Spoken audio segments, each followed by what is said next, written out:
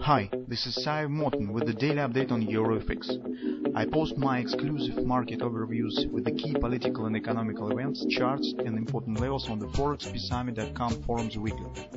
This short video is a response to rapidly changing situation on the currency markets and should help you to stay on top of the game and be profitable. I suggest you to visit forexpeacearmy.com forum and read my analysis for the week before watching this daily video. Now let's take a look at the gold market. There's really not, not, not much progress and yes, since yesterday. As you can see uh, from the one point of view, market uh, confirms and still shows some bullish moments. First of all, after this solid move up, market has moved above the monthly pivot point and after that stands stably above it and forming some sort of the consolidation right under fib resistance 1320 area and in general this is the bullish sign also trend here is bullish. But it seems guys that the factors of the geopolitical tensions that uh, fueled previously uh, and supports previously this upward direction and uh, uh, some demand on the gold market now um, have become easy and uh, has lost their importance.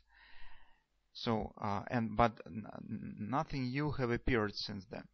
And um, no no some drastic and uh, shaking and breaking sh geopolitical geopolitical events have happened that could support the the pace of the recent demand on the gold market.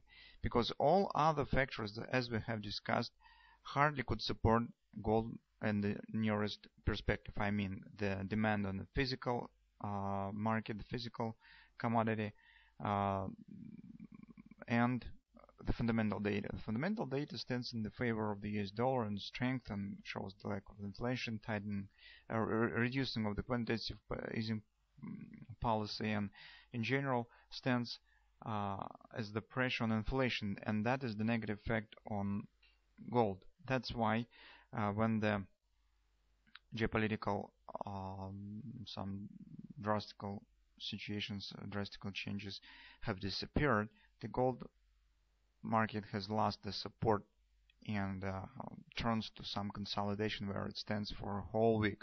So we see that the market still is coiling inside of the range of this candle as we have discussed. This makes me think that the market hasn't continued move higher when it has reached the support and uh, has formed some pattern on the intraday charts and then has shown the breakout to the upside of this pattern, it stopped. It makes me think that market really could turn to the downside because if it doesn't want to continue move higher. Maybe we will get even some sort of the ABCD pattern to the downside here. Market could reach, for example, the weekly pivot support, uh, sorry, monthly pivot support one, something of that sort. We will see. But for today, it will be important to look for this pattern. As you can see, that's an indecision high wave candle. As you can see, very small body with the long shadows. And uh, in today probably it will depend on whether market will take out the top or bottom of this candle. If it will happen today, but I'm not sure that's really will happen. Market could move slightly in the direction of the breakout. But in general, if you take a look at hourly chart, the situation doesn't look really bullish right now. Because uh, previously we said market has hit support, has made an attempt to bounce up, failed, generate back down support, now it makes another attempt, again failed. So market has no power to continue move higher right now. Besides, on the hourly chart, recall our previous triangle that is based on this top. Market previously has made the breakout, returned right back down, retested this uh, support line again.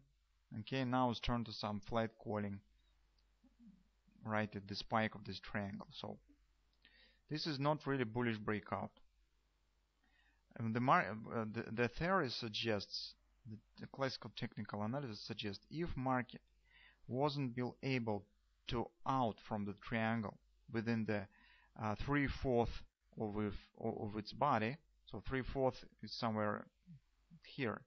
One, two, three, four, on the fifth way. If it wasn't able to exit from the triangle and turn to the last fourth of the triangle the most probable that exit will be flat. It's just market will round out from this.